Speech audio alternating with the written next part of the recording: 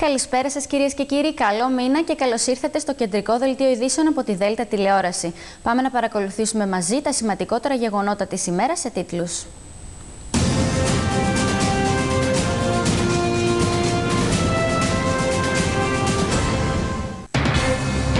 Στη Σαμοθράκη, κλιμάκιο των τεχνικών υπηρεσιών της Περιφέρειας Ανατολικής Μακεδονίας και Θράκης. Ποιο το χρονοδιάγραμμα επισκευής του κατεστραμμένου οδικού δικτύου. Σε 1,5 μήνα θα είμαστε έτοιμοι για την ανάδειξη αναδόχου τέσσερα τα έργα που θα τρέξουν συνολικά. Τη δήλωσε ο Δήμαρχος Αλεξανδρούπολης για την αξιοποίηση της δυτικής χερσαία ζώνης του Λιμένος. Στην επέτειο Εθνικής Ανεξαρτησίας της Κύπρου, ο Υπουργός Εθνικής Άμυνας. Γυρό μήνυμα του Πάνου Καμένου προς την Τουρκία για λύση του Κυπριακού. Δεν θα υπάρξουν νέα μέτρα εντός του 2018. Τι δήλωσε ο Υπουργός Οικονομικών Ευκλήδης Τσακαλώτος για το κλείσιμο της τρίτης αξιολόγησης και την έξοδο της χώρας από το πρόγραμμα στήριξης. Αιματηρό δημοψήφισμα στην Καταλωνία για την εθνική ανεξαρτησία. Εκατοντάδες οι τραυματίες από τι συγκρούσει με την αστυνομία για φάρσα κάνει λόγο η Ισπανική κυβέρνηση. Ψηφοφορία μετεμποδίων με επεισόδια και δεκάδες τραυματίες είναι ο απολογισμός του δημοψηφίσματος για την ανεξαρτησία της Καταλωνίας στην Ισπανία. Η Ισπανική κυβέρνηση αναγκάστηκε χωρίς να το θέλει να στείλει την αστυνομία για να σταματήσει το δημοψήφισμα σύμφωνα με τα λεγόμενα του εκπροσώπου, το οποίο έχει καταλήξει σε μία φάρσα. Τουλάχιστον 337 είναι μέχρι στιγμής οι τραυματίες στη Βαρκελόνη ως συνέπεια της άσκησης αστυνομικής βίας κατά των πολιτών που θέλουν να ψηφίσουν στο απαγορευμένο δημοψήφισμα για την ανεξαρτησία. Στις περισσότερες των περιπτώσεων πρόκειται για μικροτραυματισμούς, ωστόσο οι εικόνες και τα βίντεο που είδαν το φως της δημοσιότητας μόνο σοκ προκαλούν για την πρωτοφανή αυτή επίθεση. Τα ισπανικά μέσα μαζικής ενημέρωσης αναφέρουν τον τραυματισμό ενός πολίτη στο μάτι από ελαστική σφαίρα. Ο τραυματίας μεταφέρθηκε στο νοσοκομείο στη Βαρκελόνη, ενώ βρίσκεται στο χειρουργείο. Φαίνεται πως τραυματίστηκε από βολή αστυνομικού μετά τη μετακίνησή του από το Ινστιτούτο Ραμόν Γιούλ, στο οποίο είχε οργανωθεί εκλογικό κέντρο. Από πολύ νωρίς το πρωί, οι αστυνομικοί, πριν καλά-καλά ανοίξουν οι κάλπες, έδειξαν το πιο σκληρό τους πρόσωπο απέναντι στους ψηφοφόρους που από αργά το βράδυ είχαν συγκεντρωθεί έξω από τα εκλογικά κέντρα, σχηματίζοντας ουρές. Με τους Καταλανούς να καταγγέλλουν ότι η αστυνομία κάνει σε πολλές περιπτώσεις και χρήση πλαστικών σφαιρών. Ο πρόεδρος της επαρχίας της Καταλωνίας, Κάρλες Πουτζεμόντ, δήλωσε ότι η χρήση γκλόπ και ελαστικών σφαιρών από την αστυνομία αποτελεί αδικαιολόγητη χρήση βίας, ενώ δημιουργεί μια απέσια εικόνα για την Ισπανία. Η δήμαρχος της Βαρκελόνης, Άντα Κολάου, κάλεσε τον Ισπανό πρωθυπουργό Μαριάνο Ραχόη να παρετηθεί, απαιτώντας τον τερματισμό της χρήσης βίας από τις αστυνομικές δυνάμεις κατά των πολιτών που θέλουν να ψηφίσουν στο δημοψήφισμα. Σε ορισμένες περιπτώσεις, μάλιστα, αστυνομικοί με πολιτικά κατάφεραν να διεισδύσουν σε διαφορετικά εκλογικά τμήματα, καθώς είχαν εισέλθει μέσα στα σχολεία, ενώ πολίτες που περιφρουρούσαν στις εισόδους των εκλογικών τμήματων προσπαθούσαν να τους εμποδίσουν ώστε τα τμήματα να παραμείνουν ανοιχτά. Σε ένα από τα εκλογικά τμήματα, το Ινστιτούτο Ραμόν Γιούλ στη Βαρκελόνη, είχε αναπτυχθεί αστυνομική δύναμη αντιμετώπισης ταραχών, ενώ στις 9 το πρωί οι αστυνομικοί με πολιτικά ζήτησαν από τους πολίτες να αποχωρήσουν προκειμένου να κατασχέσουν τις ψηφοδόχους. Οι πολίτες αποφάσισαν να καθίσουν ειρηνικά στην είσοδο, οργανώνοντας μια ανθρώπινη αλυσίδα. Όταν είδαν ότι οι πολίτες δεν είχαν πρόθεση να αποχωρήσουν, έβγαλαν τα γκλόπ. Δεν θα ξεχάσω τα βλέμματα μίσους. Μεταξύ των ανθρώπων που είχαν συγκεντρωθεί για να ψηφίσουν ήταν γέροι άνθρωποι και μικρά παιδιά, ενώ οι αστυνομικοί άρχισαν να τους χτυπούν όλους το ίδιο χωρίς να κάνουν διακρίσεις, δήλωσε χαρακτηριστικά αυτόπτης μάρτυρας. Παράλληλα, πήραν από εμάς προσωπικά αντικείμενα, τσάντες και πορτοφόλια. Είχα βάλει τα γυαλιά μου καθώς δεν μετακινήθηκα, αυτά ποδοπατήθηκαν. Ήταν μια θλιβερή σκηνή, ενώ ο αδερφός μου κατέληξε στο νοσοκομείο, συνέχισε ο ίδιος μάρτυρας. Τελικά οι αστυνομικοί κατόρθωσαν να κατασχέσουν το εκλογικό υλικό και μπορεί η Μαδρίτη να απαγόρευσε το δημοψήφισμα για την ανεξαρτησία της Καταλωνίας, όμως οι αυτονομιστές παραμένουν ανένδοτοι επιθυμώντας να ψηφίσουν, παραμένουν με τις ομπρέλες τους στι ουρές που είναι σχηματισμένες έξω από τα εκλογικά κέντρα. Όπως ανακοίνωσε το Ισπανικό Υπουργείο Εσωτερικών, η αστυνομία και η Εθνοφρουρά προχώρησαν στην κατάσχεση καλπών και ψηφοδελτίων από εκλογικά κέντρα. Λίγο μετά το άνοιγμα των εκλογικών κέντρων στην Καταλωνία, αστυνομικοί απέκλεισαν το αθλητικό κέντρο της Ζιρόνα, όπου πρόκειται να ψηφίσει ο πρόεδρος της επαρχίας Κάρλες Πουτζεμόντ, προκειμένου να απομακρύνουν το συγκεντρωμένο πλήθος. Στη συνέχεια εισέβαλαν στο χώρο για να κατασχέσουν ψηφοδέλτια και κάλπες. Δημοσιεύτηκαν εικόνες που δείχνουν τον Κάρλες Πουτζεμόντ να ψηφίζει κανονικά. Στην Καταλωνία εκτιμάται ότι βρίσκονται περίπου 10.000 Ισπανοί αστυνομικοί. Ο απεσταλμένος της Ισπανικής κυβέρνησης στην Καταλωνία, Ενρίκ Μιλ, ξεκαθάρισε ότι πρέπει να σεβαστούμε το νομικό πλαίσιο. Η τοπική κυβέρνηση διακινδυνεύει τη δημόσια τάξη και τη σωματική ακαιρεότητα των ανθρώπων, περιλαμβανομένων μικρών παιδιών, τόνισε. Σύμφωνα με την Ομαρχία, 160 εκλογικά κέντρα έχουν καταληφθεί από τους αυτονομιστές, ενώ 1.300 έχουν κλείσει από τις αρχές.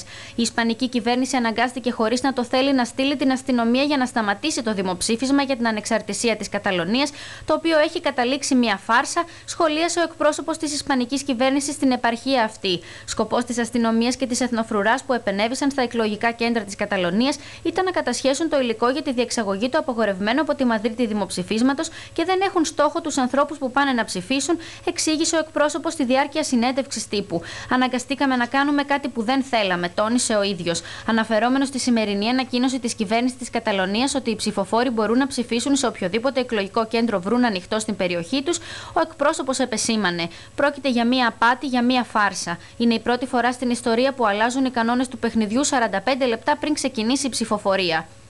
Την αστυνομική βία και την καταστολή στη Βαρκελόνη σχολίασε και ο αντιπρόεδρος του Ευρωπαϊκού Κοινοβουλίου Δημήτρης Παπαδημούλης. Με ανάρτησή του στο Twitter σημείωσε: Η αστυνομική βία και η καταστολή οξύνει την κρίση στη σχέση Μαδρίτης και Βαρκελόνης. Τα πολιτικά προβλήματα λύνονται με διάλογο και δημοκρατία. Η απλή σύγκριση της ομής αστυνομικής βίας στο δημοψήφισμα της Καταλωνίας με το δημοψήφισμα στη Σκωτία είναι συντριπτική για τον Πρωθυπουργό της Ισπανίας Μαριάνο Ραχόη. Για πρώτη φορά, ύστερα από χρόνια, έκαναν υπερπτήσεις αεροσκάφη F-16 της ελληνικής πολεμικής αεροπορίας στη στρατιωτική παρέλαση για την επέτειο της ανεξαρτησίας και εγκαθίδρυσης της Κυπριακής Δημοκρατίας. Μετά την παρέλαση, ο Υπουργός Εθνικής Άμυνας Πάνος Καμένος, ο οποίος εκπροσώπησε την ελληνική κυβέρνηση, διαβεβαίωσε ότι για την Ελλάδα η Κύπρος δεν είναι ποτέ μακριά. Θα συνεχίσουμε, είπε, μαζί με την Κυπριακή ηγεσία για να βρούμε μία λύση στο Κυπριακό, να απελευθερωθούν τα κατεχόμενα εδάφη, να αποχωρήσει ο στρατός κατοχής και να ζήσει το σύνολο του Κυπριακού λαού με ευημερία.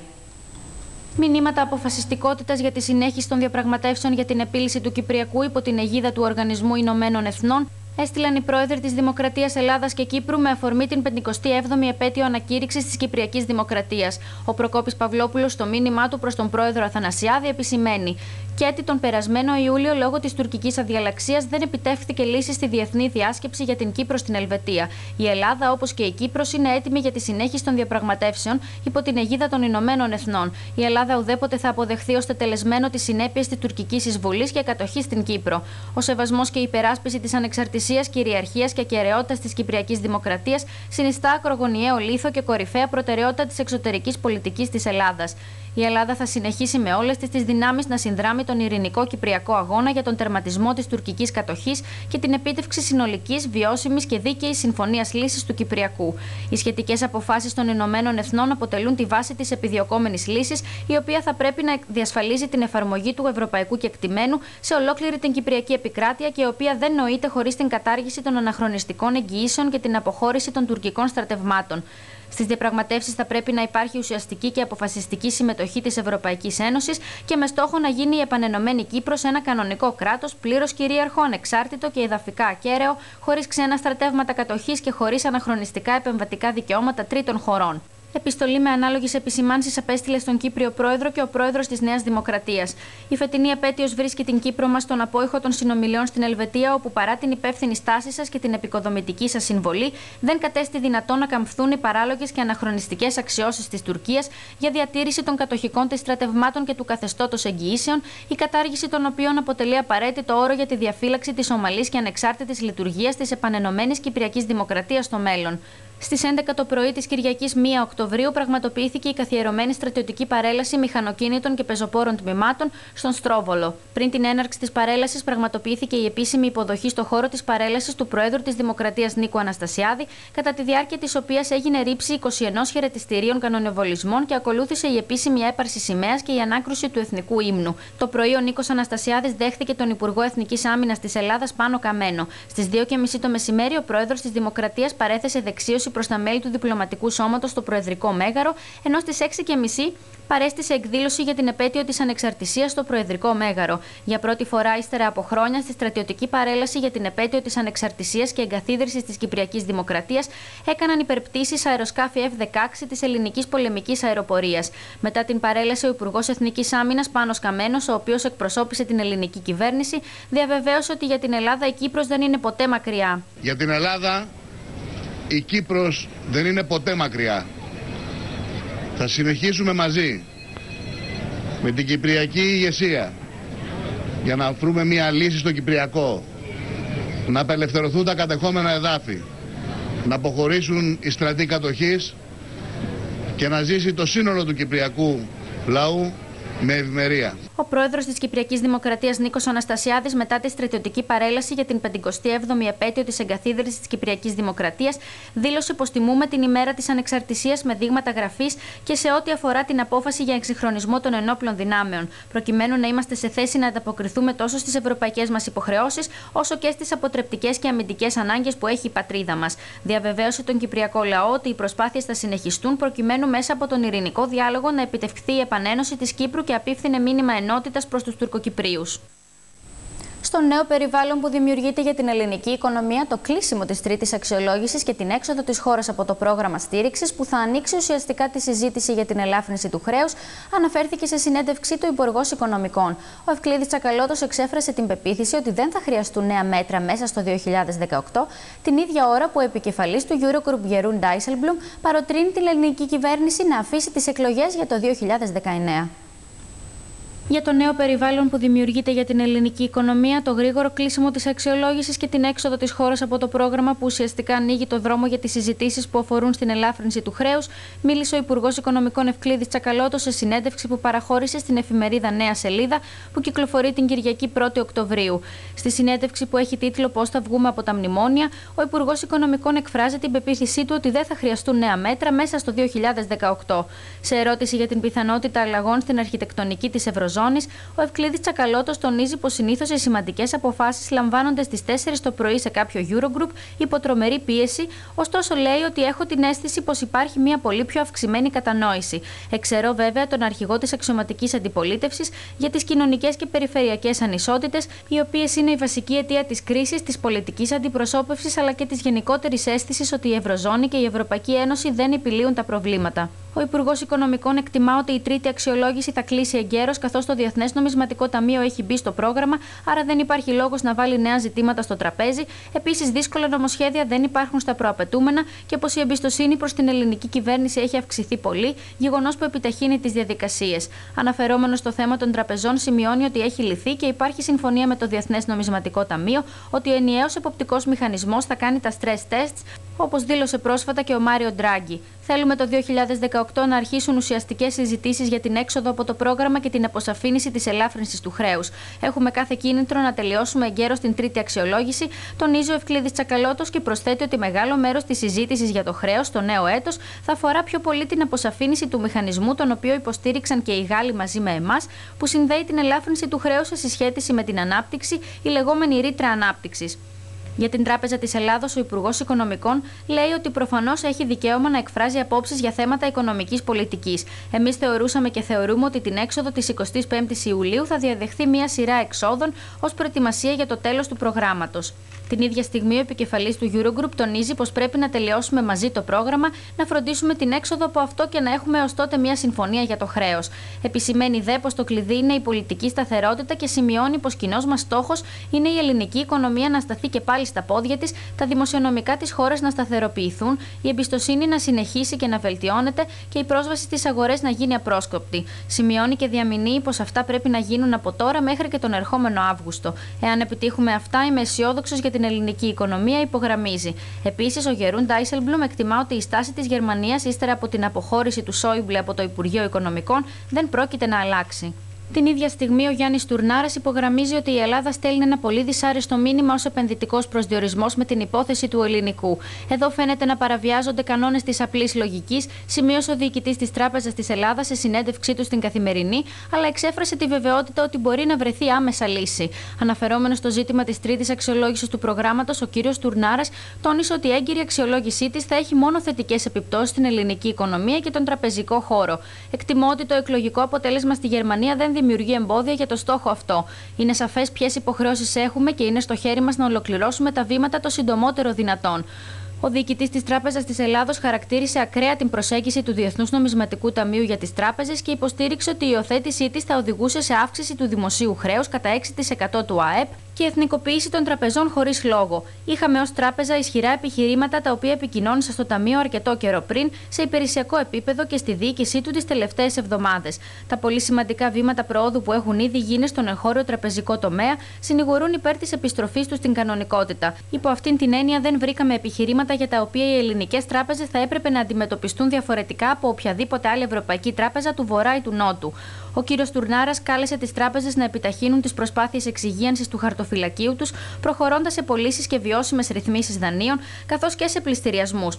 Πρέπει να πείσουμε ότι μπορούμε να εξασφαλίσουμε αποτελεσματική λειτουργία του συνολικού πλαισίου εξυγίανσης του ιδιωτικού χρέους και σε αυτό συμπεριλαμβάνονται η διενέργεια πληστηριασμών ηλεκτρονικών ημί, η σωστή εφαρμογή του πλαισίου προστασίας των δανειοληπτών καθώς και η πλήρης αξιοποίηση του εξοδικαστικού συμβιβασμού. Στο πλαίσιο αυτό, οι υποχρεώσεις των τραπεζών είναι βεβαίως αυξημένες. Με τόσες θετικές αλλαγές, είναι βέβαιο ότι οι τράπεζες θα κάνουν ό,τι είναι δυνατόν για την ταχύτερη εξυγίανση των δανειακών χαρτοφυλακίων τους. Σε κάθε περίπτωση, δεν είναι δυνατόν να υπάρξουν δικαιολογίες για καθυστερήσεις εξήγησε ο ίδιος. Ενεργώς νομικές, απαράγραπτες και δικαστικώς επιδιώξιμες είναι οι αξιώσεις της χώρας μας έναντι της Γερμανίας για το κατοχικό δάνειο και για τις αποζημιώσεις, τόνισε ο πρόεδρος της Δημοκρατίας από την Αμφίπολη. Τεκμηριωμένη κατά τρόπο αναντήρητο η ελληνικότητα της Μακεδονίας, επεσήμανε από τον τύμβο Καστά της Αμφίπολης ο Προκόπης Παυλόπουλος. Δεν μπορεί να μας αρνηθεί κανείς να το διεκδικήσουμε, ούτε έχει δικαίωμα να μην προσέλθει σε αυτό το δικαστικό φόρουμ ακριβώς επειδή αυτό επιβάλλει ο πολιτισμός της Ευρώπης. Μην ξεχνάμε ότι ο νομικός πολιτισμός είναι τμήμα του πολιτισμού της Ευρώπης. Αλίμονο αν δεν ήταν. Αυτή η θέση την οποία σας διατύπωσα δεν είναι θέση του Προέδρου της Δημοκρατίας επειδή σήμερα τυχαίνει να είμαι Πρόεδρος της Δημοκρατίας. Αυτή η θέση είναι εθνική και αδιαπραγμάτευτη. Και να θυμάστε θα τη φέρουμε σε πέρας όταν πρέπει και όπως πρέπει. Έχει διανοηθεί ποτέ κανείς να είναι υποψήφιο κράτος μέλος της Ευρωπαϊκής Ένωσης, κράτος το οποίο αμφισβητεί σύνορα. Αυτό είναι πραγματικά μια αντίφαση η οποία παραβιάζει ευθέως το ευρωπαϊκό κεκτημένο και καθιστά δύνατη οποιαδήποτε μελλοντική ενταξιακή διαδικασία. Όσο λοιπόν η γείτονα χώρα, η γειτονική μας χώρα χρησιμοποιεί αυτό το όνομα δεν είναι μόνο ότι εγκληματεί σε βάρος ιστορίας. Στην πραγματικότητα η ίδια υπονομεύει την ευρωπαϊκή της πορεία. Και είναι βέβαιο ότι όταν θα συνεχίσει η σκαπάνη θα φέρει ακόμη περισσότερα στοιχεία. Και αυτό θα μας οδηγήσει να δούμε τι σημαίνει αυτό το μνημείο. Είναι βέβαιο επίσης ότι θα μας οδηγήσει να δούμε την ιστορία του Μακεδονικού Βασιλείου. Επίσης θα μας δώσει ακόμη περισσότερα τεκμήρια για την ίδια απολύτως βεβαίως τεκμηριωμένη ελληνικότητα της Μακεδονίας. Με τον συνάδελφο Τάσο Μαρκουλίδη θα πάμε να συνδεθούμε τηλεφωνικά τώρα κυρίες και κύριοι από το καβάλαportal.gr καθώς έχουμε μια δυσάρεστη εξέλιξη στην υπόθεση του 77χρονου αγνοούμενου στη Νέα Ηρακλήτσα. Τάσο καλησπέρα. Καλησπέρα Μαρίνα, καλησπέρα και σε όλους τους ε, τηλεθεατές της ε, Δέλτα Τηλεόρασης. Λοιπόν, ε, όπως είχαμε αναφέρει και σε ε, παλιότερο δελτίο ειδήσεων, την, ε, το μεσημέρι της Τετάρτης ένας 77χρονος ε, κάτοικος Νέας Ηρακλήτσας ε, εξαφανίστηκε ενώ πήγαινε στο κτήμα του έξω από τον οικισμό. Αμέσως ε, στήθηκε μια επιχείρηση για τον εντοπισμό του, χωρίς όμως αποτέλεσμα. Ε, και σήμερα το πρωί εντοπίστηκε η σωρός του στην θαλάσσια περιοχή του λιμανιού ε, της Νέας Ηρακλήτας, κοντά στον Φάρο που έχει εκεί στο λιμάνι. Ε, με τα μέχρι στιγμής στοιχείο ο θάνατος οφείλεται σε πνιγμό, δεν έχει αποκλειστεί κανένα ενδεχόμενο ε, είτε της αυτοκτονίας είτε του, του, ε, του ατυχήματο, ξέρω από κάποιο καρδιακό επεισόδιο ε, με αποτέλεσμα αναπνιγή. Ε, δεν έχει αποκλειστεί κανένα. Αυτή τη στιγμή βρισκόμαστε πλέον στο στάδιο της ε, προανάκρισης. Το μόνο ε, βέβαιο είναι ότι ε, ο συγκεκριμένος 77χρονος δεν είναι πλέον στη ζωή. Μάλιστα, τραγικός επίλογος, και, όποια και να ήταν η αιτία του θανάτου για τον συγκεκριμένο άνθρωπο Τάσο. Να περάσουμε τώρα σε ένα άλλο ζήτημα, σε ένα ζήτημα το οποίο επανέρχεται στην επικαιρότητα, καθώς είχαμε απάντηση της ΕΛΦΕ για τις οφειλές της προς τη ΔΕΠΑ με νέο αίτημα προσωρινής διαταγής αναστολής της απόφασης. Η εκδίκαση αναμένεται να γίνει τη Δευτέρα, έτσι; Λοιπόν, έχουμε λίγο μπερδέψει τα πράγματα με αυτέ τις ε, προσωρινές διαταγές, ε, τα ασφαλιστικά μέτρα και τα σχετικά. Λοιπόν, ε, να πούμε λίγο τι έγινε την τελευταία εβδομάδα. Θυμίζουμε ότι στις αρχές της περασμένης εβδομάδας, την περασμένης Δευτέρας συγκεκριμένα, το Πρωτοδικείο Αθηνών ε, ακύρωσε μία ε, προσωρινή διαταγή υπέρ της ΕΛΦΕΑ, της ε, εταιρείας που διαχειρίζεται ουσιαστικά, που ε, διαθέτει στην κατοχή της την βιομηχανία φωσφορικών λιπασμάτων, ε, σύμφωνα με την οποία προσωρινή διαταγή ε, δεν θα ε, μπορούσε η δημόσια επιχείρηση αερίου να προχωρήσει σε ε, διακοπή της παροχής φυσικού αερίου στην βιομηχανία εφόσον βέβαια ε, προπληρωνόταν ε, η ποσότητα του φυσικού αερίου που χρειάζεται, που χρειάζεται η βιομηχανία για τις ανάγκες της.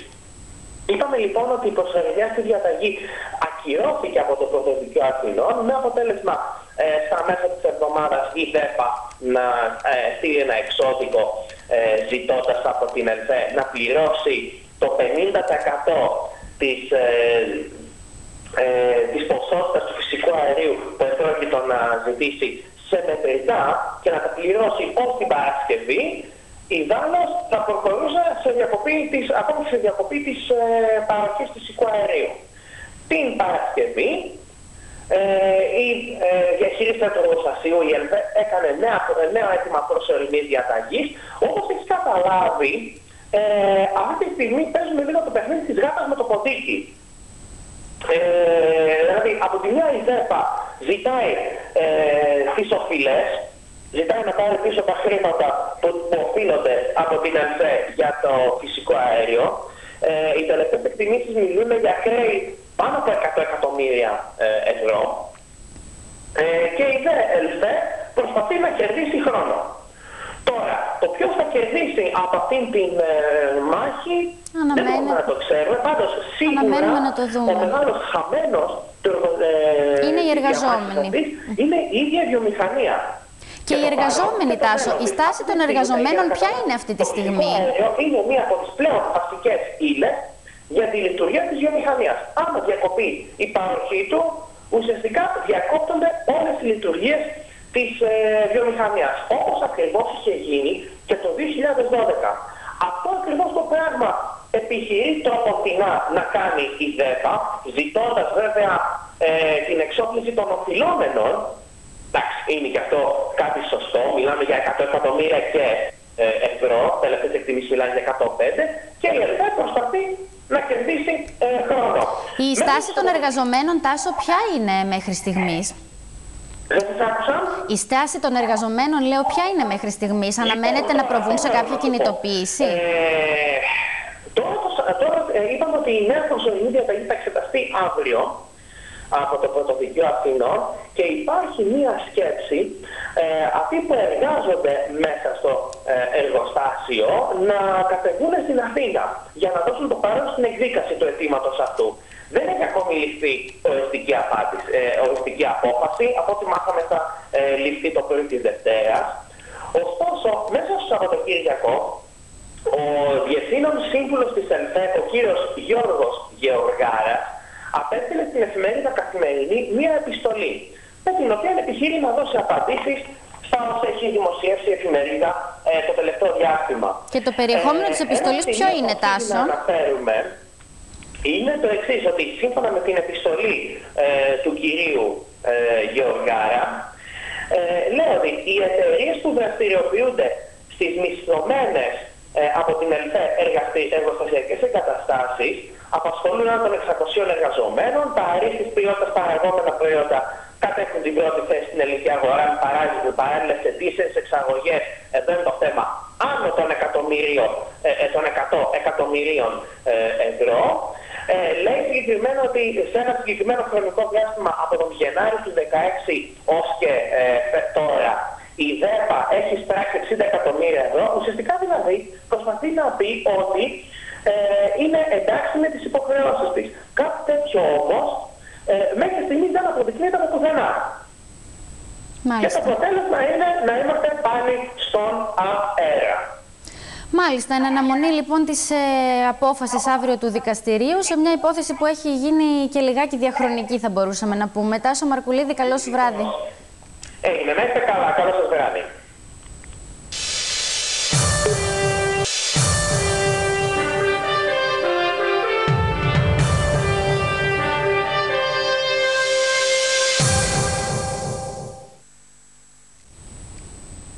Στη Σαμοθράκη βρίσκονται ήδη 7 μηχανικοί της περιφέρειας Ανατολικής Μακεδονίας και Θράκης με στόχο την αποκατάσταση του οδικού δικτύου του νησιού που καταστράφηκε από τη θεομηνία. Ήδη έχει σταλεί το αίτημα για οριοθέτηση του Δήμου προκειμένου να δρομολογηθεί και το θέμα των αποζημιώσεων επαγγελματιών και κατοίκων, σύμφωνα με τα όσα δήλωσε ο Αντιπεριφερειάρχης Εύρου, ο οποίος επεσήμανε επίσης πως σκοπός είναι να δοθούν τα χρήματα έως το τέλος του τρέχοντος έτους.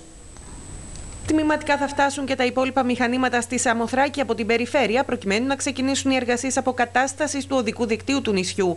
Μηχανικοί βρίσκονται ήδη στο νησί και πραγματοποιούν συσκέψεις για τη δρομολόγηση των έργων. Παρά τις επικρατούσες δύσκολες καιρικές συνθήκες, τα συνεργεία της περιφέρειας είναι στο νησί. Θα ενισχυθούν και ακόμη περισσότερα μηχανήματα τις επόμενες μέρες, συνολικά 24 μηχανήματα, τα οποία μετά από σύσκεψη που έγινε χθες, πρέπει να σας αναφέρω ότι είναι ήδη 7 μηχανικοί της περιφέρειας υπό τον ε, Διευθυντή Έργων, τον κύριο Παράσχου, στην ε, Σαμοθράκη. Έγινε μια σύσκεψη με τον Δήμαρχο, τον κύριο Βίτσα και εμείς θα συνδράμουμε σε κάθε περίπτωση για την αντιμετώπιση των προβλημάτων που υπάρχουν εντός ε, της χώρας και βέβαια στο δίκτυο της ευθύνης που, της περιφέρειας που είναι το δικό δίκτυο.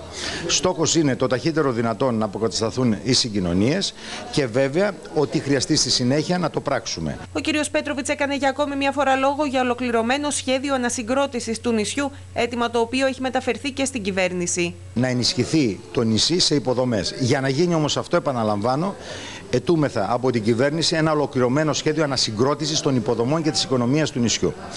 Χρειάζονται τουλάχιστον σύμφωνα με τις πρώτες εκτιμήσεις 3 με 4 εκατομμύρια για να μπορέσουμε να ξαναδούμε το θέμα της διευθέτησης των χυμάρων να δούμε την γεωλογική ε, ισχυρότητα του εδάφους να δούμε ε, πώς είναι δυνατόν να γίνει διευθέτηση προβλημάτων που έχουν δημιουργηθεί χρόνια τώρα τόσο από, την, ε, ε, από τους χυμάρους ειδικότερα αλλά και γενικότερα από την υπορευόσκηση. Όλα αυτά θα πρέπει να συζητηθούν και όλα αυτά θα πρέπει να αντιμετωπιστούν. Παράλληλα ξεκινά και ο αγώνας δρόμου για τις αποζημιώσεις. Όπως είπε ο κ. Πέτροβιτς θα πρέπει να δοθούν έως το τέλος του 2017. Σε πρώτο χρόνο πρέπει να σας πω ότι την Παρασκευή στάλει το αίτημα για οριοθέτηση του Δήμου Σαμοθράκης προκειμένου να αποζημιωθούν το ταχύτερο δυνατόν οι πληγέντες, επιχειρηματίες και ιδιώτες και το πιο σημαντικό όμως είναι ότι πρέπει αυτό να γίνει μέσα στον Οκτώβριο το πολύ Νοέμβριο. Μέσα στον Οκτώβριο για μας θα είναι το επιθυμητό. Δεν πρέπει να καθυστερήσει η κυβέρνηση να οριοθετήσει την περιοχή γιατί απαιτείται απόφαση των συναρμοδίων υπουργών και σε αυτό καλούμε και τους βουλευτές του Εύρου να στηρίξουν ε, και το πιο σημαντικό ακόμα να μπορέσουν να δοθούν οι αποζημιώσεις μέχρι τέλος του έτους.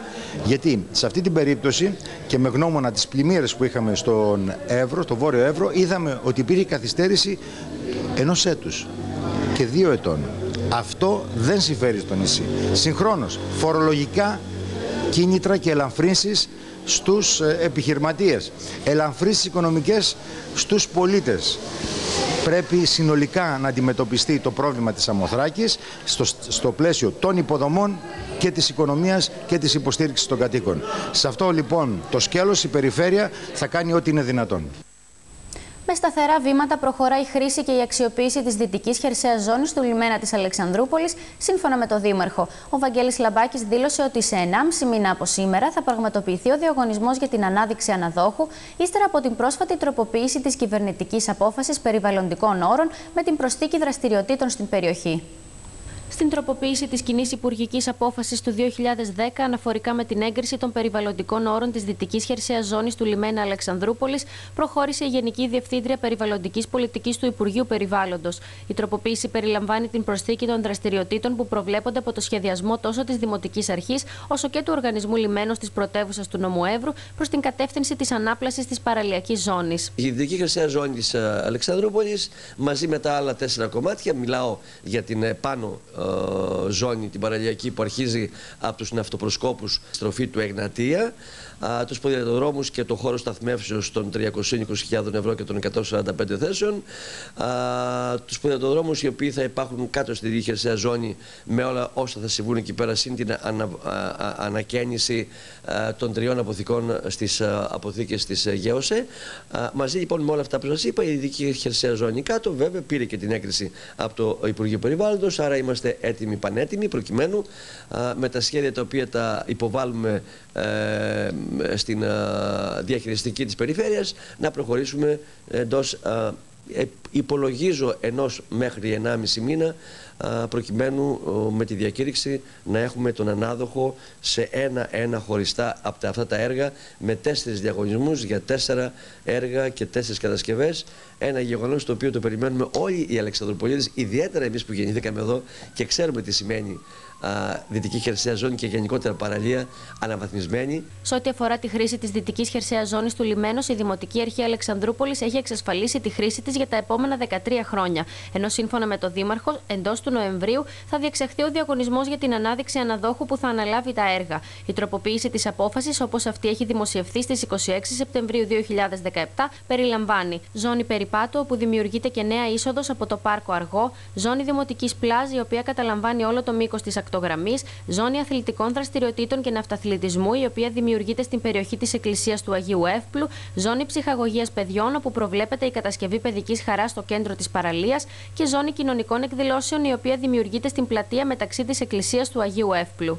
Μια παραλία η οποία όταν θα αναβαθμιστεί στο σύνολό της με όλα αυτά που σας είπα πριν θα δημιουργήσει μια συνολική αναβάθμιση στο όλο, στο όλο θαλάσσιο μέτωπο με αποτέλεσμα η πόλη μαζί με την παραλία της να είναι τόσο ελκυστική τουριστικά ώστε μαζί με όλα τα άλλα τα ενεργειακά η Αλεξανδρούπολη σιγά σιγά μέσα στα επόμενα 10 χρόνια να είναι μια τεράστια μεγαλούπολη με δυνατότητα να αντέξει αυτήν την μεγαλοσύνη και πληθυσμιακά και ενεργειακά και οικονομικά και τουριστικά και να λειτουργήσει ομαλά προς όφελος πρώτα-πρώτα των δημοτών εδώ του Δήμου, του διευρυμένου μας γιατί όταν η πρωτεύουσα λειτουργεί σωστά λειτουργούν και ε, οι παραφιάδες και η περιφέρεια του Δήμου και βέβαια χάρη των τουριστών οι οποίοι θα αφήνουν εδώ τον οβολόν τους προκειμένου ε, να ικανοποιούμε ε, τις οικονομικές προοπτικές ε, του Δήμου μας και να ε, χτίζουμε μια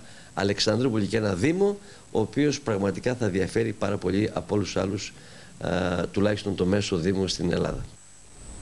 Στο νησί της Αμοθράκης θα πάμε και πάλι, κυρίες και κύριοι. Μαζί μας έχουμε τον κύριο Γεώργιο Καΐσα, τον πρόεδρο του Συνεταιρισμού Φαρμακοποιών του Νομού Εύρου. Κύριε Καΐσα, καλησπέρα σας. Καλησπέρα σας, κύριε Γκρινού. Θα μιλήσουμε απόψε για την προσφορά υγειονομικού και φαρμακευτικού υλικού που αποφασίσατε να κάνετε στη Σαμοθράκη μετά από την καταστροφική αυτή θεομηνία. Πείτε μας, σας παρακαλώ, την ε, ποσότητα αυτού του υλικού και το πότε έγινε η συγκεκριμένη προσφορά και σε ποιες ανάγκες θα εξυπηρετήσει φυσικά. Καταρχάς ε, η ποσότητα είναι, ήταν αρκετή για να καλύψει ανάγκες που πιστεύαμε ότι ήταν άμεσες για τη λειτουργία του Κέντρου Υγείας και του Περιφερειακού Ιατρίου μέχρι τουλάχιστον να μπορέσουν οι υπηρεσίες του κράτους να παρέμβουν ουσιαστικά. Ε, εμείς ε, θέσαμε την επιχείρησή μας στην υπηρεσία ε, μάλλον στις υπηρεσίες έτσι ώστε εφόσον υπάρξει ανάγκη να διαθέσουμε ό,τι χρειάζεται. Δεν έχουμε δηλαδή κάποιον περιορισμό. Σε τι αφορά κυρίως κύριε Καΐσα η προσφορά αυτή, η δωρεά που κάνατε; Αφορά υγειονομικό υλικό και φάρμακα. Αυτό που τουλάχιστον μας προτάθηκε από το προσωπικό του, του Κέντρου Υγείας. Γνωρίζουμε, κύριε Καΐσα, ότι υπάρχουν σοβαρά προβλήματα αυτή τη στιγμή. Το κέντρο υγείας μαζί με το κτίριο της Δημοτικής Αρχής ήταν τα δύο που επλήγησαν σοβαρότερα, θα μπορούσαμε να πούμε, σε επίπεδο δημόσιων υποδομών από την ε, πλημμύρα. Το υλικό αυτό πού έχει, πού έχει πάει, πού έχει αποθηκευτεί, έχει πάει αν μπορώ να το... Και για πόσο και είναι διάστημα. την Παρασκευή, σας λέω. Το Σάββατο, μάλλον, ναι. στάλθηκε. Ε, και για πόσο ναι. διάστημα αναμένεται να καλυφθούν οι ανάγκες των ε, κατοίκων του νησιού, Άμα θα πιστεύετε; χρειαστούν κι άλλες, θα τους δώσουμε. Δεν έχουμε κάποιο θέμα εμείς.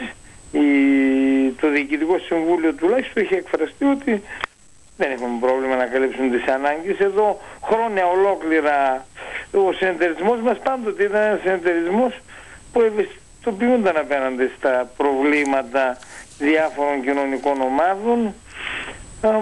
Πάντοτε δείξαμε την αλληλεγγύη μας απέναντι σε, όχι μόνο στη χώρα αλλά και ε, σε επίπεδο στον κόσμο όπου υπήρχαν προβλήματα πάντοτε συμμετείχαμε σε πρωτοβουλίες οι οποίες κάλυπταν ανάγκες από την, τα παιδιά της Αφρικής μέχρι τη Βοσνία Ερζεγοβίνη μέχρι τον Αγκόρνο Καραμπάχ, το Ιράκ κτλ. Εσείς δεν, κύριε δεν... Καΐσα, τι εικόνα έχετε για την κατάσταση που επικρατεί εκεί και σε επίπεδο προμηθειών, ε, αλλά και ε, γενικότερα εφόσον ήταν έτοιμα των εργαζομένων ε, προς εσάς; Εκείνο που εγώ γνωρίζω είναι πιο ότι υπάρχουν κάποιες ανάγκες ε, σε υγειονομικό υλικό το οποίο εμείς προσπαθήσαμε να καλύψουμε εκείνο που έχει αποκατασταθεί πλήρως το ο περιφερειακό ιατρείο η λειτουργία του περιφερειακού ιατρείου δεν μπορούν να αποκατασταθούν γρήγορα οι ζημνές στο κέντρο υγείας αυτό με έχει αναφερθεί όμως ε, εμείς διαθέσαμε ε, στις υπηρεσίες τη δυνατότητα τα αυτοκίνα να τους παραχωρήσουμε και αυτοκίνητα να, να έρθουν υλικά τα οποία πιστεύω ότι την επόμενη εβδομάδα θα είναι εδώ για το κέντρο υγείας. Από εκεί και πέρα πιστεύω ότι είναι θέμα των αρμόδιων υπηρεσιών όμως δεν είναι δικό μας θέμα. Εμείς ε, σαν συνεταιρισμός φαρμακοποιών Εύρου εκείνο που είχαμε να κάνουμε είναι να χορηγήσουμε υγειονομικό υλικό απαραίτητο να καλυφθούν οι πρώτες ανάγκες. Πέραν αυτού μπορώ να σας πω ότι τα φαρμακεία του νησιού προμηθεύονται κανονικά φάρμακα. Δεν έχουμε κάποιο πρόβλημα στην προμήθεια των φαρμακείων. Από όσο είμαι ενήμερος έχουν οι συνάδελφοί μας εκεί έχουν ε, χορηγήσει φάρμακα στους ασφαλισμένους έστω και ε, έξω από την διαδικασία της συνταγογράφησης ε, με έχει αναφερθεί ότι από, έχουν αποκατασταθεί οι επικοινωνίες και από Δευτέρα θα συνταγογραφείται κανονικά. Άρα λοιπόν το σύστημα φαρμακευτικής περίθαλψης του ΕΣΤΟ θα λειτουργεί από Δευτέρα κανονικά. Θα καλύπτονται δηλαδή πλήρως οι ασφαλισμένοι. Δεν υπάρχουν δηλαδή ελλείψεις αυτή τη στιγμή στα φαρμακεία του νησιού και εξυπηρετούνται κανονικά, οι ανάγκες των κατοίκων. Δεν έχουμε κάποιο άκουσμα τουλάχιστον να υπάρχει πρόβλημα στην προμήθεια του φαρμακείου. Εμείς κανονικά προμηθεύουμε τα φαρμακεία και τα φαρμακεία κανονικά αγοράζουν και πιστεύω ότι χορηγούν στον κόσμο τα φάρμακα. Υπήρχε ένα θέμα σχετικά με την συνταγογράφηση μέχρι την αποκατάσταση των επικοινωνιών. Μου αναφέρθηκε ότι και αυτό καλύφθηκε, άρα λοιπόν εμείς από τη στιγμή που είναι ηλεκτρονική η ναι, συνταγογράφηση ναι, πλέον, έτσι. Ναι. Και ο κόσμος είναι ασφαλισμένος. Δεν, ναι. δεν υπάρχουν. Ακόμα και οι ανασφάλιστοι δικαιούνται φαρμάκων. Κύριε Καΐσα, ο... το υλικό που αποστήλατε εσείς, αν ε, μπορούσα να σας ρωτήσω, αν γνωρίζετε να μας πείτε, ε, ήταν από την αρχή, δηλαδή εξοπλίσατε ε, εξ αρχής εκ νέου το, το νησί, το κέντρο υγείας και το περιφερειακό ιατρείο; Θέλω να πω, υπήρξε την καταστροφή την περασμένη του υλικού. να μας πούν τι υλικό χρειάζονται ναι. Την Παρασκευή μας δόθηκε το υλικό που τους είναι απαραίτητο για να λειτουργήσει το κέντρο, το κέντρο υγείας και το αγροτικό ιατρείο. Έτσι τα πρώτα υλικά τουλάχιστον σε φάρμακα και σε υγειονομικό υλικό και από εκεί και πέρα τώρα τα υπόλοιπα πιστεύω ότι οι υπηρεσίες αρχίζουν και παρεμβαίνουν ουσιαστικά. Μάλιστα, μια σημαντική χειρονομία λοιπόν. Κύριε Καΐσα, να σας ευχαριστήσουμε πολύ και ας ελπίσουμε να μην υπάρξουν πάντοτε σιωπηλά κάναμε τις προσφορές μας. Αυτή τη φορά δεν τα αποφύγαμε. Ευχαριστώ πολύ. Να είστε καλά. Γεια σας. Αλλάζουμε θέμα τώρα, κυρίες και κύριοι, καθώς την ακύρωση της τροπολογίας Γεροβασίλη διεκδικεί το πανεργατικό μέτωπο. Τα μέλη του ΠΑΜΕ στην Αλεξανδρούπολη δηλώνουν υπέρ της αξιολόγησης των δημοσίων υπαλλήλων, αλλά με επιστημονικό και αντικειμενικό τρόπο και όχι με τη μέθοδο που προωθεί η κυβέρνηση. Την ακύρωση της τροπολογίας της Υπουργού Διοικητικής Ανασυγκρότησης αναφορικά με την αξιολόγηση των δημοσίων υπαλλήλων διεκδικεί το πανεργατικό αγωνιστικό μέτωπο. Τα μέλη του ΠΑΜ επιδιώκουν την ακύρωση της τροπολογίας που βασίζεται στο νόμο Βερναρδράκη 4369 του 2016, που προβλέπει την κίνηση της διαδικασίας αξιολόγησης από τους προϊσταμένους, ενώ στην περίπτωση που δεν θα το πράξουν δεν θα έχουν δικαίωμα εκ νέου διεκδίκησης θέσης ευθύνης. Καλούμε τους συναδέλφους μας που εργάζονται στο δημόσιο και σε νομικά πρόσωπα δημοσίου δικαίου να απέχουν, να απεργήσουν από την διαδικασία της αξιολόγησης ε, που έχει ε, καταληκτική ημερομηνία ε, κατάθεσης των εντύπων αξιολόγησης την Δευτέρα 2 Οκτώβρη. Με βάση την νέα τροπολογία που κατατέθηκε τώρα στη Βουλή και ψηφίστηκε μέσα στο Σεπτέμβρη, η τροπολογία της Γεροβασίλη, που επιτακτικά ε, θα πρέπει να καταθέσουμε τις εκθέσεις αξιολόγησης. Το ΠΑΜΕ χαρακτηρίζει την εν λόγω τροπολογία αντιλαϊκή, επισημένοντας πως θα αξιολογείται ως άριστος ή ικανός όποιος θα βάζει πλάτη στους αντιλαϊκούς σχεδιασμούς της κυβέρνησης. Τα μέλη του μετόπου προτείνουν τη διεξαγωγή συνελεύσεων σε όλες τις υπηρεσίες του δημοσίου, προκειμένου να ληφθούν αποφάσεις αναφορικά με το μέλλον των απεργιακών κινητοποιήσεών τους. Θεωρούμε ότι ε, θα πρέπει να, να ακόμη και ο Καλόβουλος που, που θέλει να, που λέει ότι γιατί να μην αξιολογηθούμε μιας και οι δομές του δημοσίου, πολλές από αυτές καταραίουν. Ε, λέμε ότι θα πρέπει να δει το περιεχόμενο της αξιολόγησης και ποιους σκοπούς αυτή εξυπηρετεί. Ο σκοπός είναι να γίνει ένα μικρό κράτος, ευέλικτο, τέτοιο που θα εξυπηρετεί τα μονοπωλιακά συμφέροντα, ιδιωτικοποιήσεις δηλαδή και την ανταγωνιστικότητα αυτών των μονοπωλιακών ομίλων. Εμείς δεν θέλουμε ένα τέτοιο δημόσιο. Ε, κατά τη γνώμη μας μία αξιολόγηση που θα γινόταν στη βάση επιστημονικών, ε, επαγγελματικών, τεχνικών ε, προϋποθέσεων που θα στηρίξουν τους ε, υπαλλήλους ώστε να γίνουν καλύτερη συνεργασία τους και να παρέχουν έτσι καλύτερες και ποιοτικές υπηρεσίες στους πολίτες ε, σε μια τέτοια αξιολόγηση δεν θα ήμασταν αρνητικοί. Το βασικό επιχείρημα των μελών του ΠΑΜΕ είναι σύμφωνα με τους ίδιους ότι η αξιολόγηση συνδέεται με τον ίδιο το χαρακτήρα του κράτους και της δημόσιας διοίκησης, καταγγέλλοντας συγκεκριμένη στόχευση της κυβέρνησης για την προώθηση των ιδιωτικοποιήσεων. Τρεις φορές μέσα στο καλοκαίρι το 90% των συναδέλφων δημοσίων υπαλλήλων είπε όχι στο νόμο 4369 ε, του Βερναρδάκη. Με τον νόμο της Γεροβασίλη δεν έχουν αλλάξει το περιεχόμενο και η μορφή της αξιολόγησης στον οποίο αντιτάχθηκε τόσο μεγάλο ποσοστό συναδέλφων. Αυτό που έχει αλλάξει με την τροπολογία στο νόμο 4489 είναι ότι γίνεται μέσα από μια διαδικασία απεργοσπασίας με την οποία εκβιαστικά καλούνται οι προϊστάμενοι και οι διευθυντές να αξιολογήσουν τους υφισταμένους τους. Επειδή ακριβώς δεν έχει αλλάξει τίποτα, επειδή ακριβώς το σύνολο των δημοσίων υπαλλήλων είναι ενάντια σε αυτή την αξιολόγηση και όχι γενικά σε οποιαδήποτε αξιολόγηση, εμείς καλούμε τους συναδέλφους να μην καταθέσουν εκθέσεις αξιολόγησης ή όπου δεν υπάρχουν εκθέσεις αξιολόγησης να δηλώσουν ότι συμμετέχουν στην απεργία αποχή που έχει προκηρύξει ΑΔΕΔΗ. Ολοκληρώθηκαν οι εργασίες του δεύτερου Πανελληνίου Συνεδρίου Αρωματικών και Φαρμακευτικών Φυτών που έλαβε χώρα το Σαββατοκύριακο 29 και 30 Σεπτεμβρίου στην Αλεξανδρούπολη. Η διοργάνωση κρίθηκε από τους υπεύθυνους ως επιτυχής, αφού όπως δήλωσαν οι ίδιοι, πρόκειται για ένα κλάδο που γνωρίζει σημαντική ανάπτυξη στην περιοχή του νομού Εύρου.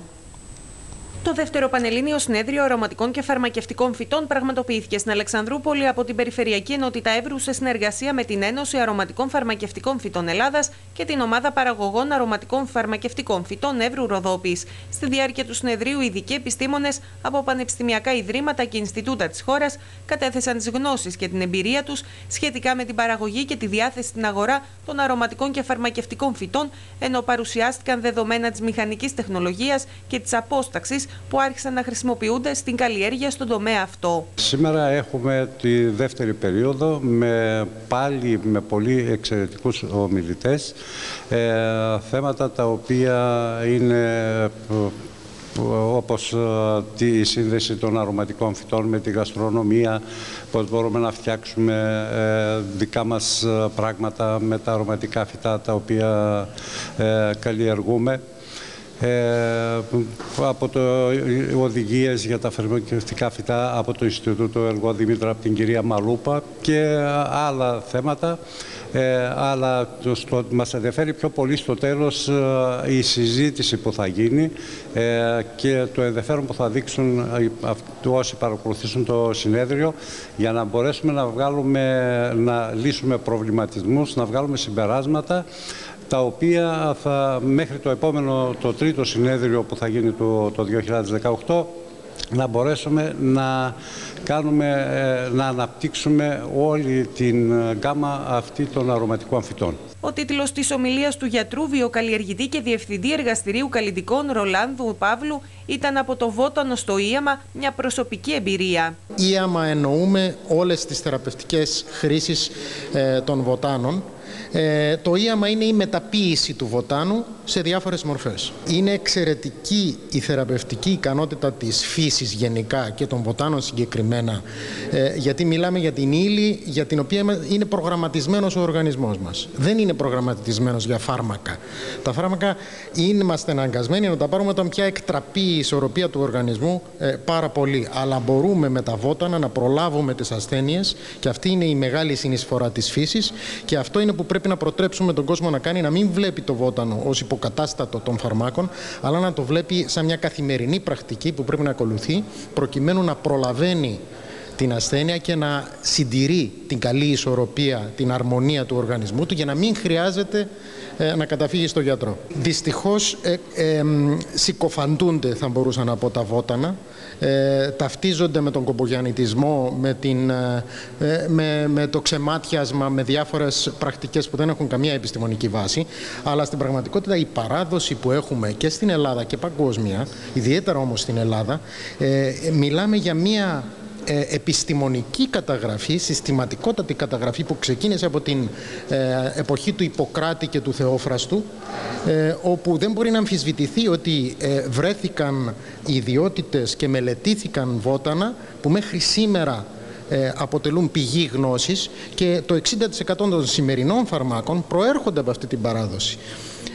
μπορεί σήμερα να δέχονται ε, ε, μια κατασυκοφάντηση προκειμένου να προωθηθούν τα φάρμακα ε, αλλά ο κόσμος είναι πάρα πολύ δύσκολο να ξεριζώσει σε αυτή την παράδοση γιατί βρίσκεται σε κάθε σπίτι αυτή η παράδοση. Και είναι πολύ δύσκολο να, να φύγει ο Έλληνας από την γνώση που την έχει και ο ίδιος στην εμπειρία του ότι θα πιεις το χαμομήλι σου, θα ε, κάνεις ένα θυμάρι, θα κάνεις ένα φασκόμηλο και ξέρεις τι ε, ιδιότητες έχουν τουλάχιστον κάποιες βασικές τις ξέρουν όλες οι νοικοκυρές, όλοι, όλες οι γιαγιάδες και από γιαγιά σε ε, εγγονή ε, περνάνε οι παραδόσεις αυτές.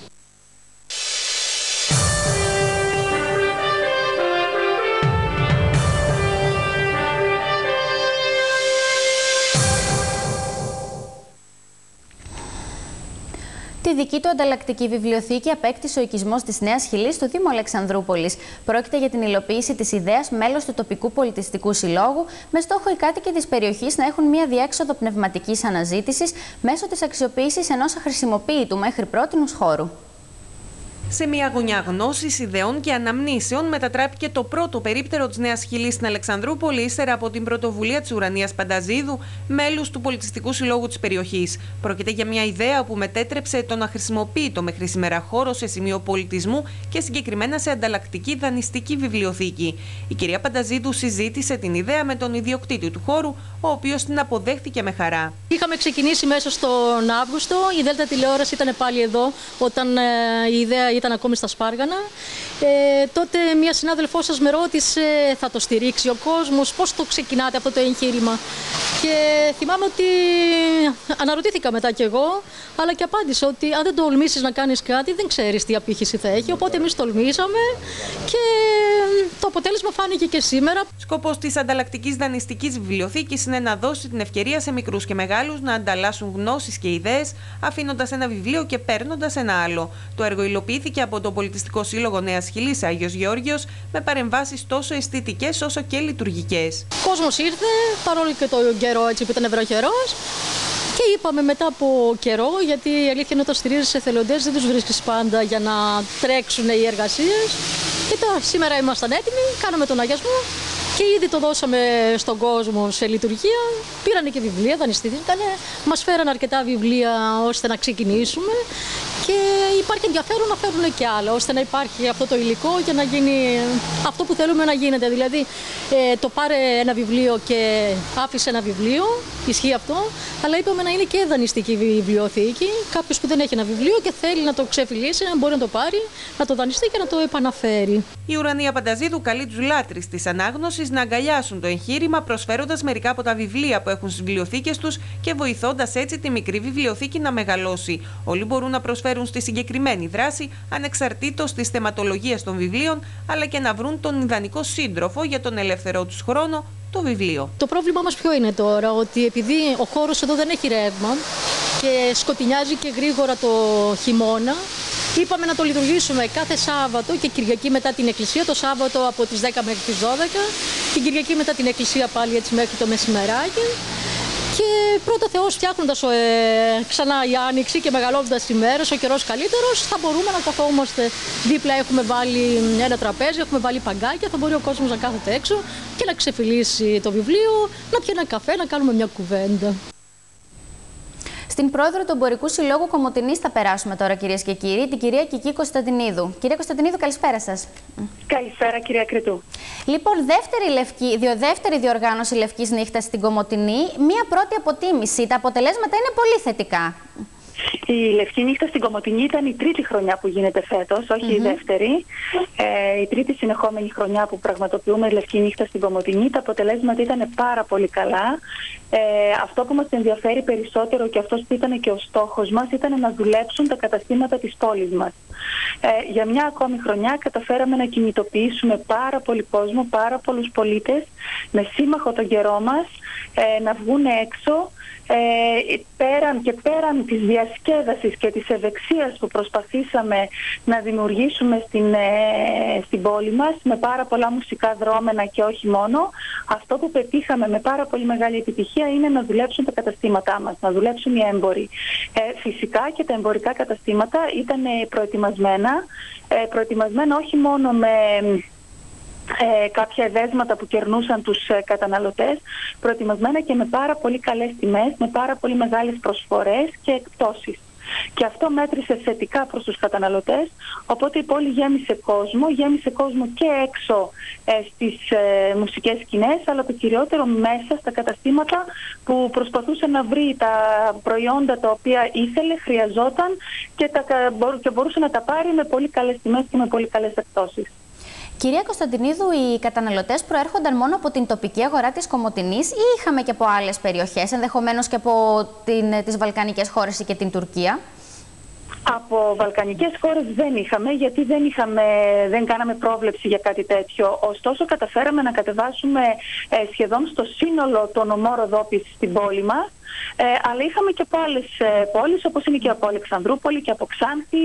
Ε, είχαμε αρκετούς επισκέπτες, οι, οποίοι, είχαμε αρκετούς επισκέπτες οι οποίοι ήρθαν να γνωρίσουν την πόλη μας και να καταναλώσουν σε αυτήν. Από εκεί και πέρα υπάρχει, κυρία Κωνσταντινίδου, μια εκτίμηση, γιατί πήγε καλά. Οι καταστηματάρχες οι ίδιοι είναι αισιόδοξοι. Ε, κοιτάξτε, εκτίμηση ακόμη δεν έχουμε κάνει για το πώς θα πάνε τα πράγματα από εδώ και πέρα ή πώς πήγαν ακριβώς με νούμερα στην ε, βραδιά της Λευκής Νύχτας, γιατί είναι ακόμη πάρα πολύ νωρίς.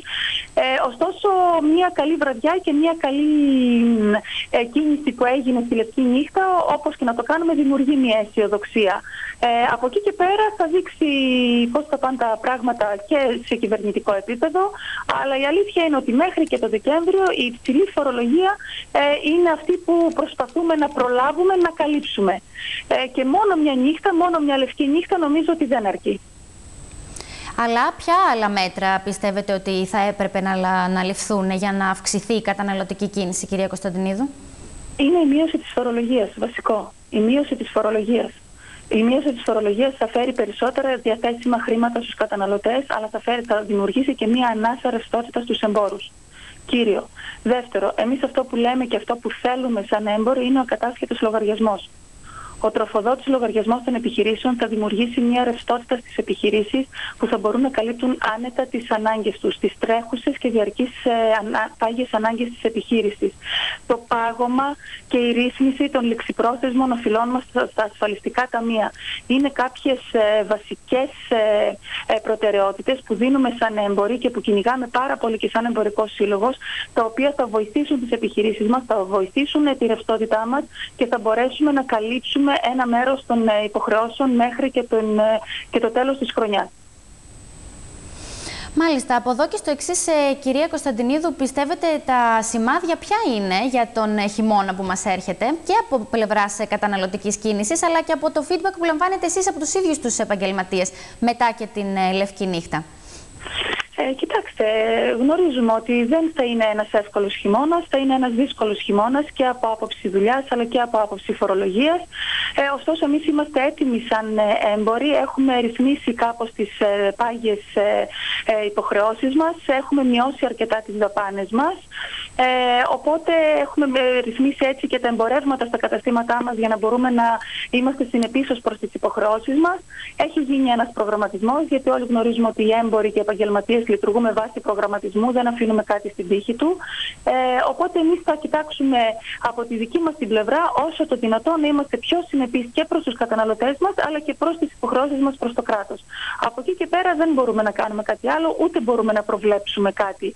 Γιατί όπως σας είπα η υπερφορολόγηση μέχρι και το Δεκέμβρη μήνα με την αλλαγή που προέρχονται στα τέλη κυκλοφορίας, με την τρίτη δόση φόρου εισοδήματος, με τον έμφυα να κυλάει και μέσα στα 18, ε, αντιλαμβάνεστε ότι τα πράγματα είναι, είναι αρκετά δύσκολα. Περίοδος δεν είναι πολύ με το πετρέλαιο εν ώψη του χειμώνα. Και για τους επαγγελματίες αλλά και για τους ίδιους τους καταναλωτές, έτσι.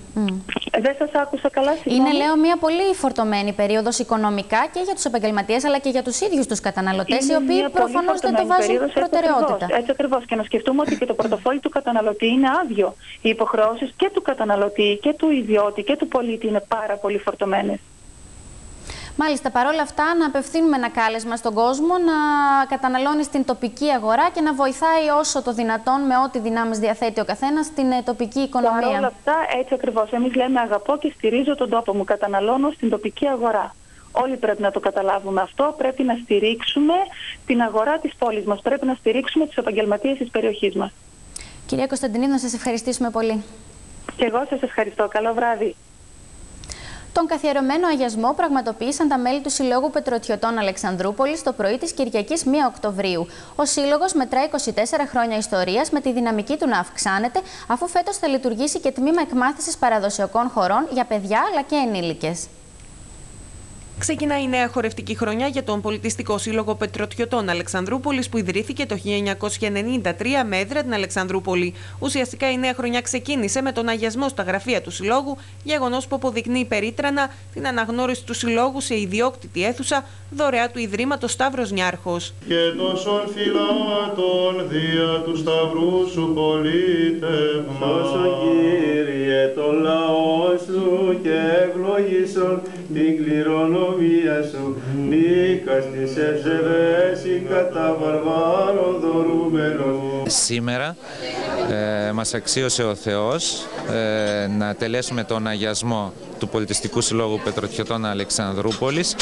Μπορεί για κάποιους να είναι καθιερωμένος, ε, συνηθισμένος η διαδικασία αυτή του αγιασμού. Για μας όμως τους πετροτιώτες και τις πετροτιώτες επέχει σημαντική ιδιαίτερη θέση στη ζωή μας γιατί μέσω του αγιασμού ε, τιμούμε αυτήν τη χούφτα στην κυριολεξία των 26 ανθρώπων που πριν 24 χρόνια ίδρυσαν αυτό το σύλλογο ερχόμενοι ως μετανάστες από τη Γερμανία. Αξιοσημείωτο είναι και το γεγονός ότι στην Αλεξανδρούπολη ζει και δραστηριοποιείται μια κοινότητα άνω των 800 ατόμων δεύτερης και τρίτης γενιάς καταγόμενων από τα πετρωτά.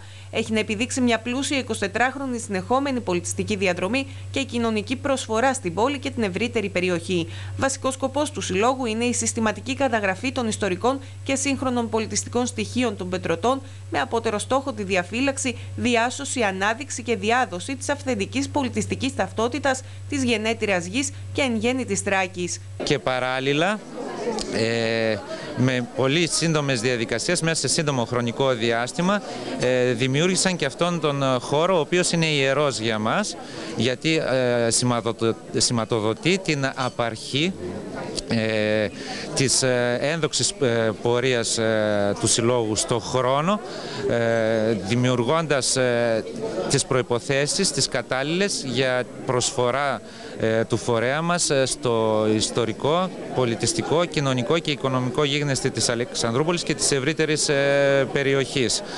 Άρα για μας σήμερα ο αγιασμός είναι ιδιαίτερος και είναι φυσικά σηματοδοτεί την έναρξη της νέας πολιτιστικής ε, χρονιάς και χορευτικής. Παράλληλα, ο πρόεδρος του Συλλόγου αναφέρθηκε και στο θέμα του ζεόλιθου. Ο ζεόλιθος ε, των Πετροτών ως γνωστόν έχει ήδη δημιουργηθεί η εταιρεία πριν από ένα μήνα περίπου στα Πετροτά.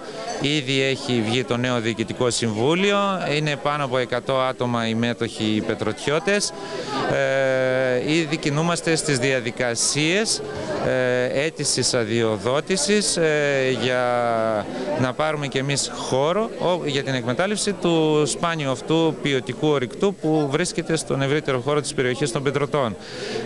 Και φυσικά ε, αν στηριχθεί όπως πρέπει από την πολιτεία, τοπική αυτοδιοίκηση πρώτου β' βαθμού αλλά και κυβερνητικά, το αντίστοιχο Υπουργείο, θα σημάνει στην κυριολεξία την απαρχή της αναγέννησης ε, της οικονομικής της περιοχής του Βορείου Εύρου ε, γιατί μην ξεχνάμε ότι πριν από χιλιάδες χρόνια το, ότι είχε ανάπτυξη αυτή η περιοχή ήταν στην Πέτρα.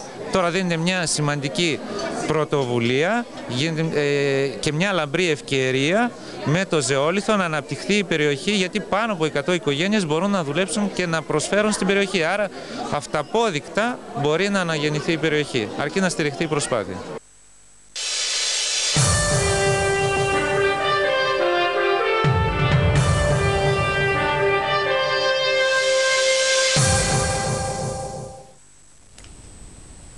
Επιτυχία έλαβε χώρα στην Αλεξανδρούπολη 25η Πανθρακική Συνάντηση Παλαιών Προσκόπων. Η εκδήλωση είχε τιμητικό και νοσταλγικό χαρακτήρα και πραγματοποιήθηκε με τη συμμετοχή παλαιών προσκόπων της Τράκης, της Θεσσαλονίκης, της Βέρειας αλλά και άλλων πόλεων της Βορείου Ελλάδας.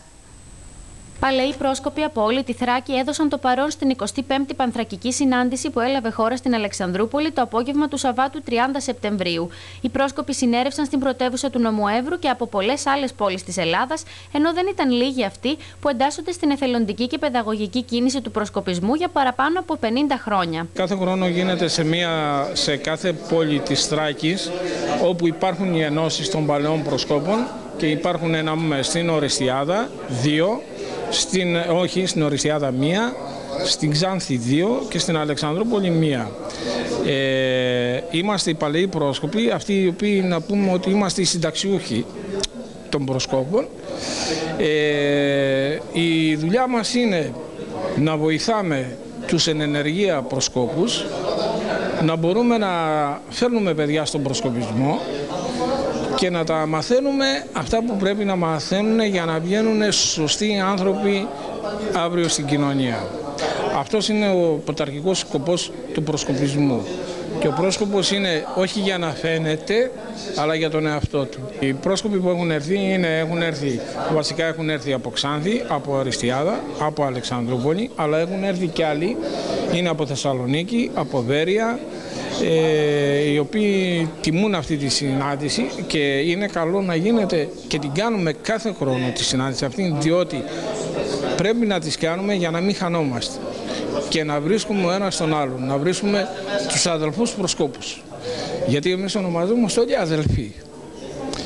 Αυτή είναι η έννοια των συναντήσεων που γίνεται και μάλιστα στις 21 Οκτωβρίου γίνεται στην ε, Λάρισα η πανελλαδική συνάντηση των παλαιών προσκόπων όπου συμμετέχουν και Κύπροι και από το Κάιρο. Η εκδήλωση είχε τιμητικό και νοσταλγικό χαρακτήρα αφού τα μέλη των ενώσεων παλαιών προσκόπων ξαναβρέθηκαν ύστερα από καιρό αναπολώντας τις κοινέ τους εμπειρίες και αναμνήσεις. Ήρθα από τη Θεσσαλονίκη για να παραστώ στην εκδήλωση της Αλεξανδρούπολη.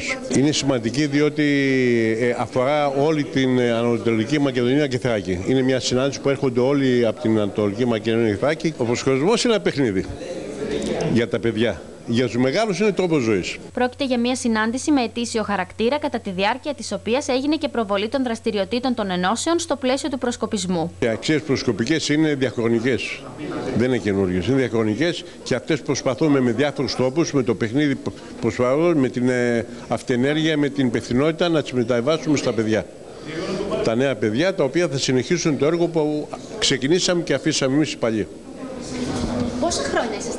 Εγώ είμαι από το 1958. Από το 1958, βάλτε τώρα έχουμε 2017, έχει αρκετά χρόνια, γύρω στα πάνω από 50 πάντως, πάνω από 60. Όπου χρέος και πρώτον καλή, τον καλή, με θυσία προτείνει τα στήθια, για να δώσεις στους άλλους βοήθεια,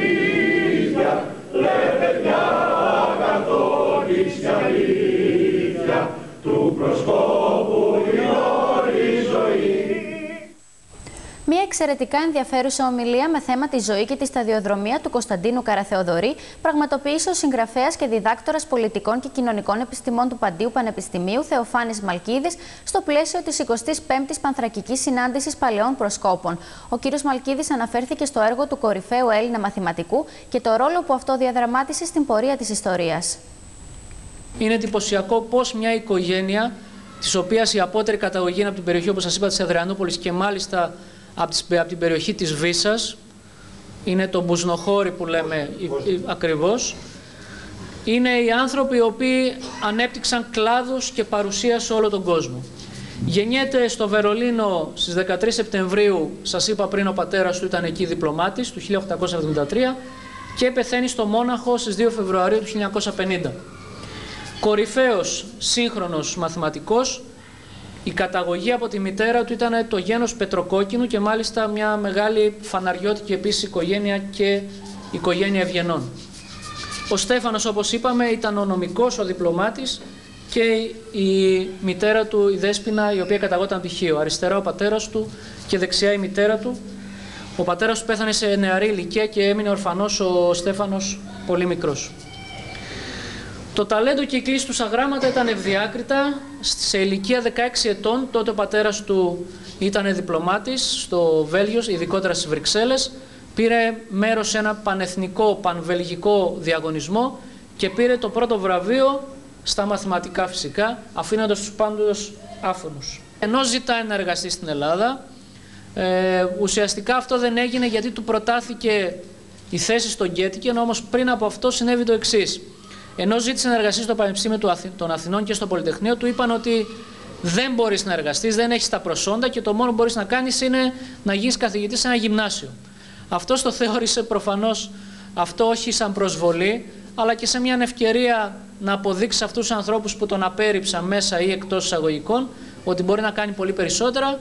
Και έτσι λοιπόν γίνεται καθηγητής στο Πανεπιστήμιο του Γκέτιγεν. Το Γκέτιγεν είναι από τα παλαιότερα πανεπιστήμια στην Ευρώπη ασχολείται με τα προβλήματα της θερμοδυναμικής και με τη φυσική. Θεωρείται ένα από τους μεγαλύτερους πατέρες της επιστήμης. Αυτό που ενδεχομένως κάποιοι δεν γνωρίζετε είναι ότι η βάση της τηλεπικοινωνίας και ιδιαίτερα της κινητής τηλεφωνίας είναι στη βάση των θεωριών των ε, συγγραμμάτων, των αποδείξεων που έκανε ο Καραθεοδωρή. Ο Καραθεοδωρή όταν έμαθε για τη θυσία των προσκόπων στο Αιδίνη, στα Σόκια και στην Κάτω Παναγιά, εντυπωσιάστηκε, συγκλονίστηκε και συγκινήθηκε. Ένας από τους πρώτους που προέτρεψε τον Μητροπολίτη Σμύρνη στο Χρυσόστομο, το μετέπειτα Αγιοποιηθέντα, που αγιοκατατάχθηκε, να κάνει μνημόσυνα για τους προσκόπους είναι ο Κωνσταντίνος Καραθοδωρή. Για όσους δεν γνωρίζουν, είναι βέβαια σχεδόν όλοι εδώ είστε πρόσκοποι, έχετε άμεση σχέση με τον προσκοπισμό. Η θυσία των προσκόπων στις τρεις αυτές περιοχές Μικράς Ασίας θεωρείται μία από τις πιο σημαντικές στιγμές του προσκοπισμού. Αναλαμβάνει να οργανώσει το Πανεπιστήμιο της Θεσσαλονίκης το 1930. Βέβαια έπεσε στην περίοδο που ο εθνικός διχασμός και η οικονομική κρίση αναλάμβανε πάλι ρόλο στην Ελλάδα, ξαναέφυγε από τη χώρα μας, διδάσκει σε πάρα πολλά πανεπιστήμια της Ευρώπης και των ΗΠΑ και συνδέεται με τον Αϊστάιν. Ειδικά σε ό,τι αφορά τη θεωρία της σχετικότητας, θεωρείται ένας, αυτό, ένας από τους ανθρώπους ο οποίους βοήθησαν τον Αϊστάιν να λύσει το πρόβλημα της της θεωρίας σχετικότητας, μια άγνωστη πτυχή της ζωής του Καραθοδωρή είναι η αντίθεσή του με τον Χίτλερ. Και φυσικά αφού αντιστάθηκε στον Κεμάλ και μάλιστα παρότι μπορούσε να σωθεί πιο μπροστά εν έμεινε για να σώσει το τελευταίο κομμάτι του Πανεπιστήμιου Σμύρνης όταν ανέβηκαν οι Ναζί στην εξουσία το 1933 ήταν ένας από τους πολλούς ανθρώπους οι οποίοι παρότι είχαν σπουδαία θέση δεν δέχτηκε να πάει με το ναζιστικό κόμμα.